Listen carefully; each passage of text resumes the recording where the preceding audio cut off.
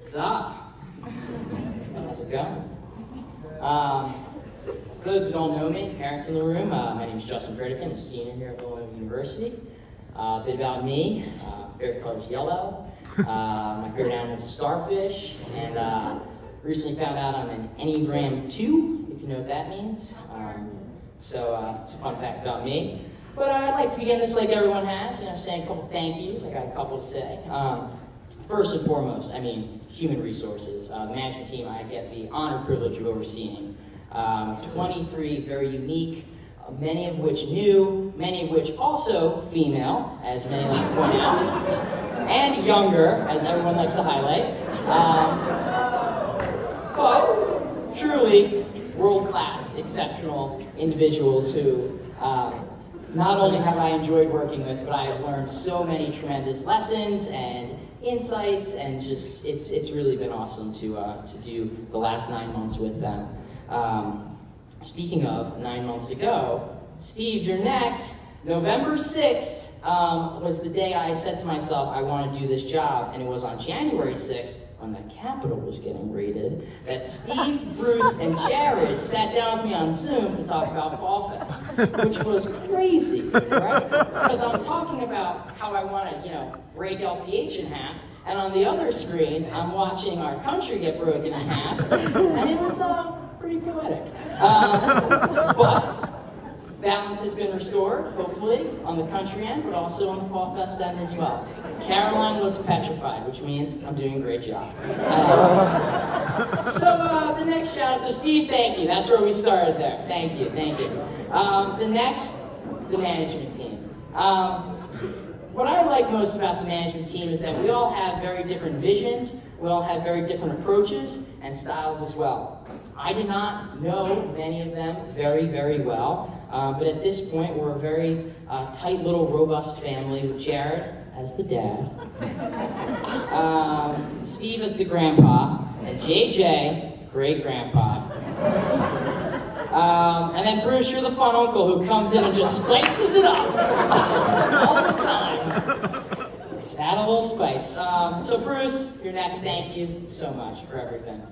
JJ, thank you as well. And the fourth person I would thank of the adult tree would be Kate in the Office of Student Involvement. If you've ever met Kate Vicente, talk about a woman who is organized, knows her stuff, and really is a secret weapon to this organization. I highly recommend A, saying thank you, and B, getting to know her, because she's a sweetheart.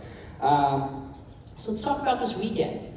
You know, kind of like Bruce, don't really know what to say. So uh, I'm reminded of a line from a 2008 motion picture called Kung Fu Panda. Um, it was Master Oogway who said, um, you know what, I don't need this. Uh, it was Master Oogway who said to Po, Po being the panda, of course, uh, he said, quit, don't quit, noodles, don't noodles. You're too concerned with what was and what is. Yesterday is history, tomorrow is a mystery, but today is a gift. And that is why we call it the present. And I truly mean it. This present of a weekend that Fall Fest was, was two years in the making. Two years of hell in a handbasket for most of it. Two years of constantly reshuffling and pivoting, that's the key word of the day. And you know what? When I went back to my home props apartment, which was a mess, um, I sat on my bed and I said, holy crap, we did this. We made this work.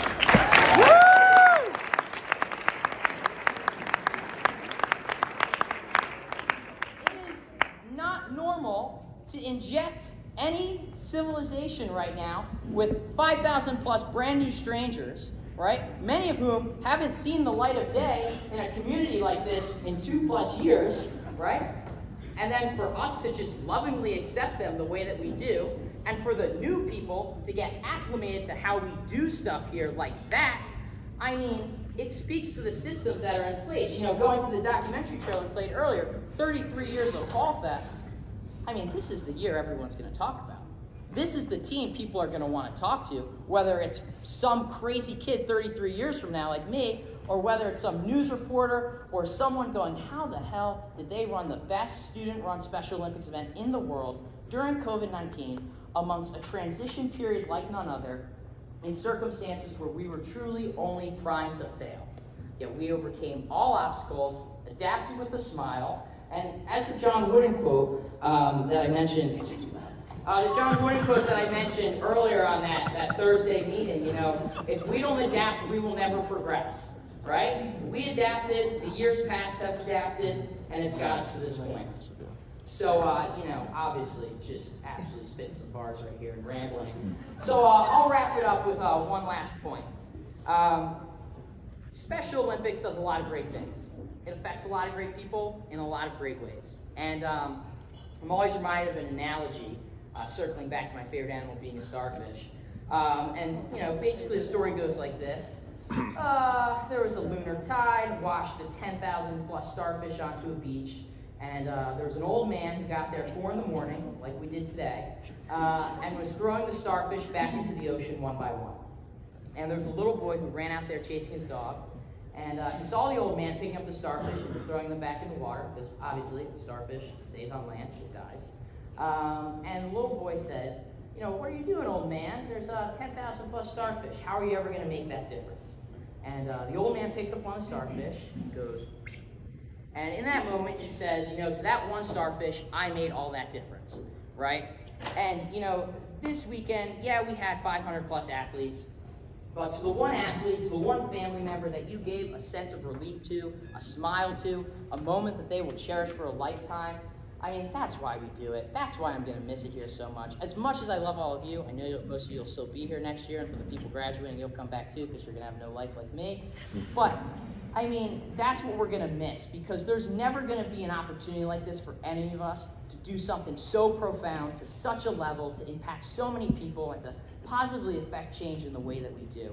Um, so to everyone who helped me, um, you know, do what I need to do in regards to this weekend and throughout the past nine months, really my sincerest thank yous. Um, and to everyone who continues this mission of inclusion, hell yeah, baby, let's keep doing it.